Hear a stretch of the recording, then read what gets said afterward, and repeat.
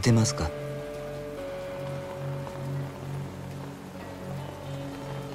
このままだと風邪をひいてしまいますよ。私は立花と申します。立花？あなたが今置かれている状況は全て承知しています。私はあなたと会うこの時をず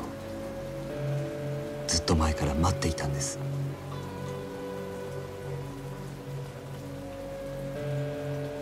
少しだけ話聞いていただけませんか？桐生一馬さん。